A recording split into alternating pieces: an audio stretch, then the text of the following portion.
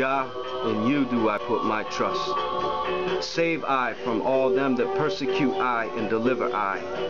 Lest he tear my soul like a lion, rending it in pieces, while there is none to deliver. O Jah, if I have done this, if there be iniquity in my hands, if I have rewarded evil unto him that was at peace with I, let the enemy persecute my soul and take it.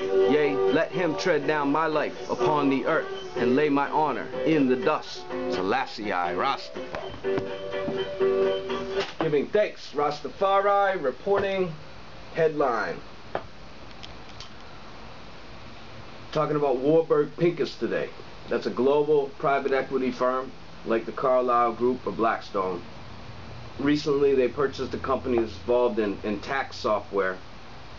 I think it was about a hundred million dollar purchase, so it wasn't a small deal. Obviously they have patents on particular software they can track and monitor transactions around the world. Of course that's what they're concerned with because they are behind the Federal Reserve and other central banks. Um, says they raised 11.2 billion last year for investments that include oil and gas explorations. It says it's already invested committed more than 9.5 billion over the over the last 40 40 so years. Of course it says more than 9.5 billion, so there could be 90 billion, could be 900 billion. Firms that investors in the energy fund include public and private pension funds, sovereign wealth funds, insurance companies, endowments, foundations, and wealthy individuals. So, they basically take your money. If you work for the police department, your money goes into a pool, and people like Warburg, Warburg Pincus come along, and they, they, they take somebody out to the strip club, and they manage to get that money for themselves. They take the management upfront cost up front, and they invest the rest and of course they take a certain percentage of what it earns.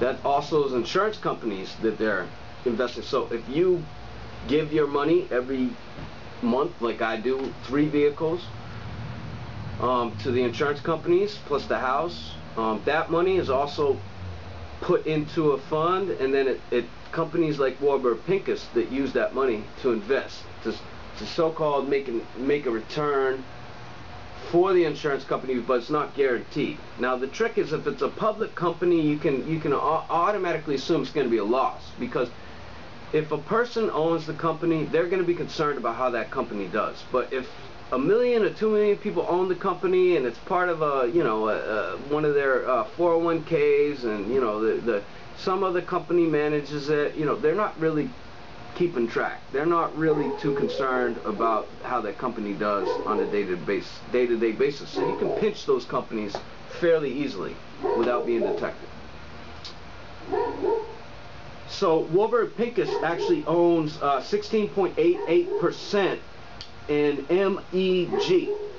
MEG went public in 2010 on the Toronto Stock Exchange and it owns uh, Christina Lake Project and Surmont Project as, other, as well as other prospective tar sands production and land lease holdings. MEG has a contract to send its tar sands through Enbridge's Keystone XL clone pipeline system, which has been the recent focus of a protest on the State Department over the permitting of a controversial border crossing northern leg of the pipeline system. If they say the Keystone XL clone is designed to accomplish the same goal as TransCanada's Keystone XL, which is to bring Alberta tar sands to the Gulf Coast refineries. They say this Keystone XL clone did not go through the through the normal State Department approval process. So they're they're directly implicating this with John Kerry, the U.S. head of Department of State.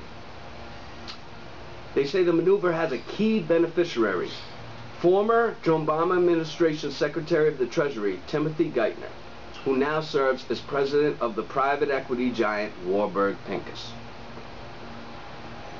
A document posted on the U.S. Federal Energy Regulatory Commission website confirms the contractual relationship between MEG and Enbridge.